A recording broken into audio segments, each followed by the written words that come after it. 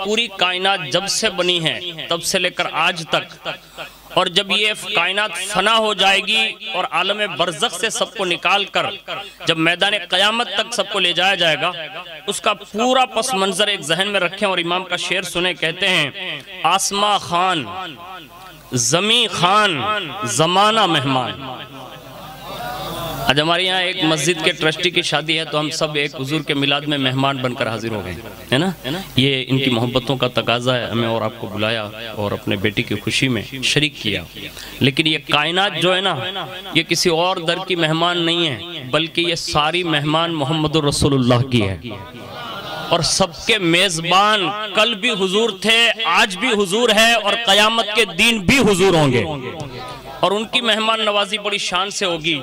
लेकिन इस वक्त जो कायनात का जर्रा जर्रा जो कुछ भी पा रहा है ना, वो हुजूर के दर से पा रहा है। इमाम कहते हैं, आसमा खान, जमी खान, जमाना मेहमान, साहिब खाना लकब किसका?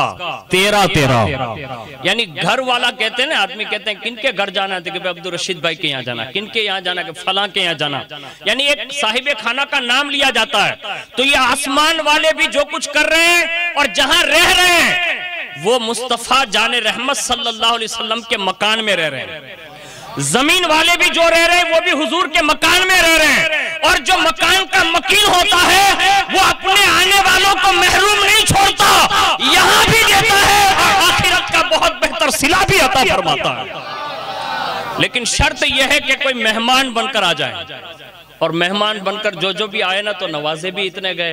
अभी हज़रत एक मनकबत सुना रहे थे, बड़ी अच्छी सुना रहे थे, लेकिन हम लोग उर्दू से थोड़े कच्चे होते हैं ना हज़रत। माजरत चाहते हैं कि हम ऐसी दाद नहीं दे पाते, जैसा कि बिहार, बंगाल, यूपी वगैरह में शोरा को दी जाती है। लेकिन कुछ अल्फाज ऐसे होते हैं कि जिसको दिल छू जाता है।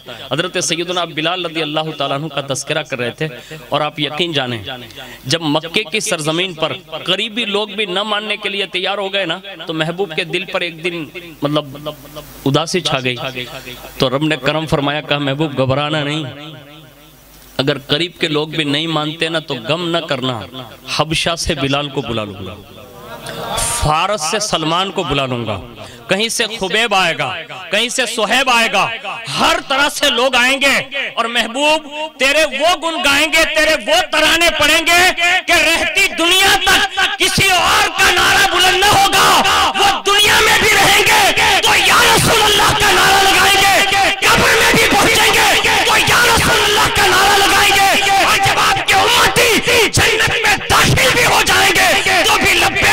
रसूलुल्लाह का नारा बुलंद करते रहेंगे